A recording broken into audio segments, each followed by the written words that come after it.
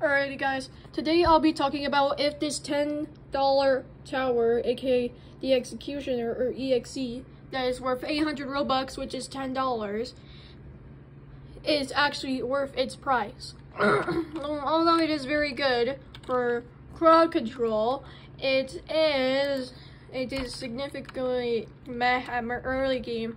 It's good for the until like wave 13, because at wave 13 there is gonna be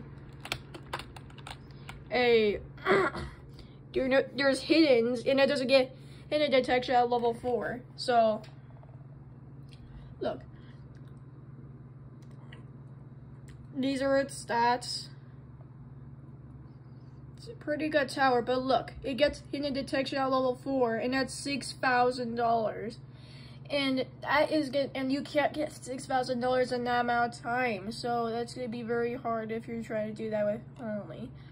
But it also has 39 dps at max and when you buy it or have it you get this very cool skin. So i would say it's kind it is worth ten dollars and this would probably be able to help if if noobs got it like new TDS players gotta probably help them.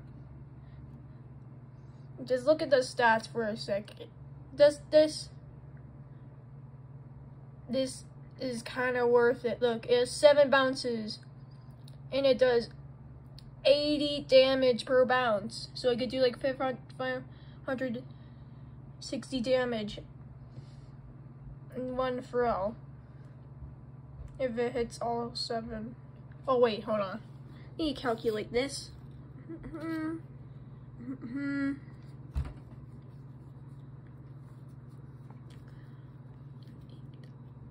Oh, I know that 8 times 7 is 56. Yeah, it's 560 damage.